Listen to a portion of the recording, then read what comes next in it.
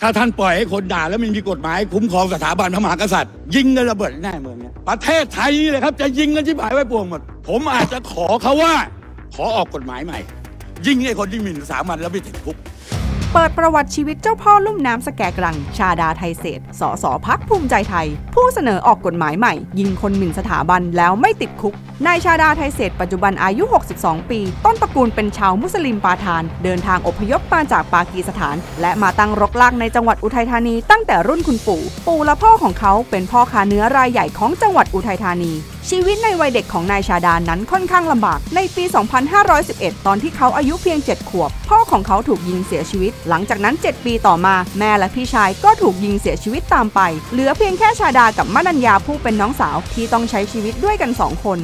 นายชาดาได้รับฉายาว่าเป็นเจ้าพ่อแห่งลุ่มน้ำสแกกรัง เนื่องจากเขามีชีวิตที่สุดผาดผลกว่านักการเมืองธรรมดา นายชาดาเคยถูกจับกลุมในข้อหาจ้างวานฆ่านายสมเกียรติจันหิรัน เลขานุการของสสพักไทยรักไทย เมื่อปี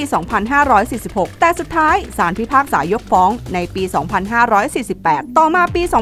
2555 เขาเคยถูกลอบยิงที่ตำบลหมูสีอำเภอปากช่อง จังหวัดนครราชสีมา แต่กระสุนดันพลาดไปถูกนายฟารุธไทยเศษผู้เป็นลูกชายเสียชีวิตในปี 2 2560 ตำรวจได้บุกคนบ้านของเขา และแจ้งข้อหาพกพาอาวุธสงครามไว้ในครอบครอง และในปี